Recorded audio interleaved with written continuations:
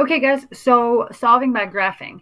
Remember from our linear equations that we learned about in Math 1 and hopefully reviewed today in the previous videos, the solution when you're graphing is when the two functions intersect. So when they were linear, they either had one, none, or infinite solutions. So one would be they cross one time, none, they never touch at all. So they were parallel lines. And then infinite solutions would be the same line just written differently. So maybe in standard form and one in slope intercept form. But now we're looking at it with quadratics and all other functions, and then maybe one linear as well as part of your system. So if you're using Desmos to graph your notes, you need to draw the graph. If you're drawing the graph, you can either do a couple of things. You can use your table here and find some good points. You see that it starts to repeat at the top and the bottom. So that means this is definitely our vertex that negative um, one, negative four. So vertex here, which you can see. But also if you don't want to hit like open the table because that makes it look weird to you for whatever reason, you can trace along your quadratic here in Desmos and see that if this is the vertex, you're looking for another good point. We have another good point, and then we have one zero, and here negative three zero. But if we wanted it to show up here and you wanted to check it, you could hit negative three and make sure you see zero. It's not as nice and neat because it's not in the right place at the top, but you can still fact check any of your values within this table from your graph. But so on your piece of paper, you should have this graph and five points make a graph. But you also want to pay really close attention to this point here because it's very important because that's where that linear line crosses. So one of the solutions to this system is going to be 2, 5. And then the other solution to this system would be negative 2, negative 3. And again, this is just solving by graphing. To solve by graphing, they have to be in y equals form. So standard form for most of them. If it's linear, y equals mx plus b form, not standard form. Um, but for a quadratic, this would be considered standard form, the x squared plus 2x minus 3. All right, and then your example number two, and obviously pause because I'm talking fast if you need to to graph all these goodies. Example number two, so our negative x squared minus 6x minus 6. We have our graph here. We could graph that by seeing that our vertex is negative 3, 3. We can see some x-intercepts. Those aren't very good as far as graphing. We have a good intersection point here, and then it's mirrored on this side. We also have one here, and it's again mirrored on this side. Or again, hit your toggle, hit your table, and then you have a table. Uh, this table doesn't use the vertex. And remember, you do need both sides of a quadratic for it to count as a good graph. So you know you need negative 3, 3. So you can type in negative 3, 3 and see that one there. And it puts the point on the graph for you. Negative 4, 2 would be another good one to make sure you can graph it on your paper in the event you should ever have to do so.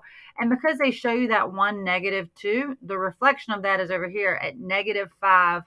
I'm sorry, negative 1. Negative 5, negative 1. And that's negative 1, negative 1. So we could try our negative 5 and see that it is negative 1. So there's five good points to graph.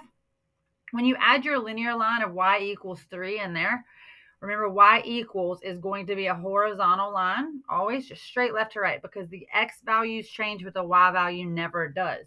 So you want to extend that through the graph as far as you can fit it. And then the important point or the solution to this system is going to be one solution, negative 3, 3, because that is the only place that it touches the linear and the quadratic. So the maximum of this quadratic touches the linear at negative 3, 3. That would be your solution for this one. So only one solution on this one. Example number three. So if we have our negative, this is in vertex form, quadratic again, because obviously we can see a quadratic. I like the table because it shows some dots that work. But remember again, to put it on your paper, you need to also make sure you have the other side, not just one side. Their standard table is negative 2 to positive 2. So sometimes you just have to adjust seeing that this is a good point, though, hopefully, you know, since we've learned about our axis of symmetry, this point should mirror directly across over here. And it looks like that's a three something. So let's try three in our table. Go down to our next one, put in three, and we get a four, which does mirror one, four. And then it looks like maybe we'll try four next, and it mirrors one. So that's the perfect fold along your vertex of two, five. So that would be your perfect five points to get a good quadratic going. Um, you may have to graph more once you put your linear on there as well. because again, if the points fall off of those five as your intersection, that's really important that it shows on your graph where they actually intersect. So we put this negative y equals mx plus b form, slope intercept form line onto our graph. Right now, hopefully you would have already had this one graphed, but you're going to need to add this point to your graph because this is also a solution. Oops, sorry, let's see if I can get over there. There it is. So 5, negative 4 is a solution to this graph. The other way you can check that, so it looks like 5, negative 4, perfect. If we go here and put in a table as well, we could check those intersection points because they should both exist in both tables. So 0, 1 and 0, 1 exist.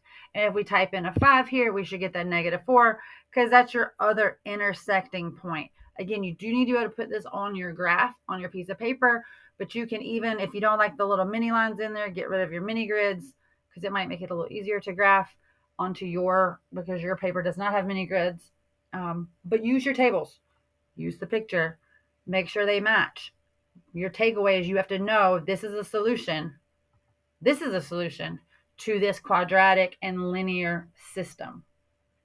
Last but not least, our number four example. So this guy, we have a quadratic. We have one, two, three, four, five good points. Beautiful. Then our linear, which it has a starting point of negative one. I'll get rid of those mini grids because sometimes it makes it a little harder, in my opinion, to look at. Um, you have your vertex and all your points again there. If we click this guy, it should give us some points on it as far as your x-intercept is a mess. Your y-intercept is a negative one though. Um, and again, toggle table, toggle table, and then you can check points. But in this case, you should see this blue line never touches that quadratic.